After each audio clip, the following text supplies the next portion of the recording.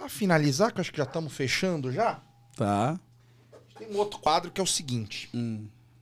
Alguém que veio aqui deixou uma pergunta, Porra. sem saber pra quem. Tá. Então todos os convidados deixaram uma pergunta. Ah, legal. Você depois vai deixar uma pergunta pra alguém. Boa. Tá, para um próximo convidado. Exatamente. Então vocês peguei pra mim. Não tem como dele de- dar alguma coisa. Porque assim, as cartas aqui é meio pesado, é meio assustador, que são as É. coisas meio nada a ver. É, porque não é pra. É, sim. Então, assim, já saiu gente que indicou, o outro tirou o pai. A gente tem medo, entendeu? A gente tem muito medo. Que sai. São as coisas meio É, assustadoras. sorte que o Yuri Nossa. não participou do. Puta, ia ser. Devia ter plantado uma, né, caralho? Nossa, Vocês estão nessa, a né? piada. Olha só, da, da minha. Conheço ela. Babu Carreira. Babu, Babu. maravilhosa. Incrível. Ela, Você conhece ela de onde?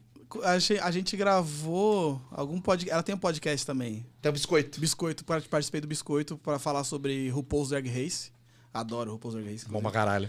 E aí eu participei e conheci ela. Ela é muito, muito maravilhosa, Babu, nossa parça. E a pergunta dela é: qual a sua pior história de cocô? Puta, Babu é foda, né? Babu velho? é foda, né? Pior que tem uma história, tem uma história legal, tem uma história legal.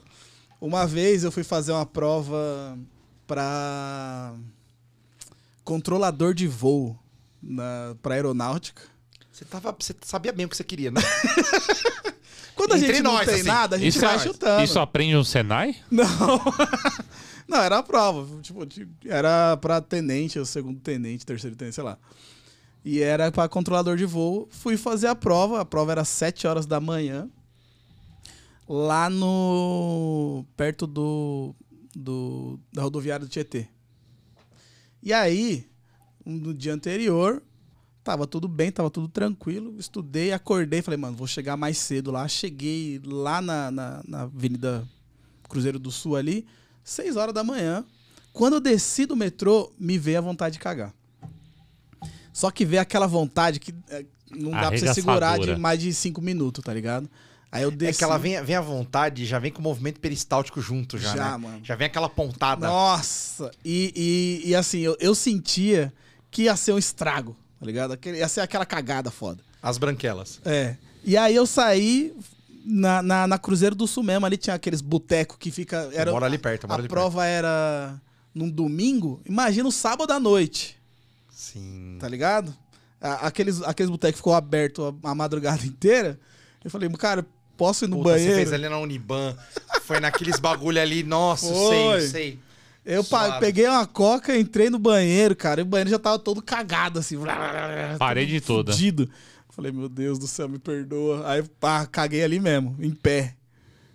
A- a autoestima foi junto com a merda, tá ligado? Como é que você passa numa prova? né? Então, aí eu já fui pra prova derrotado, tá ligado? Fui pra prova desolado, não tinha nem como. Você eu não consigo controlar meu cu. Como é que eu vou controlar o O voo? avião, né?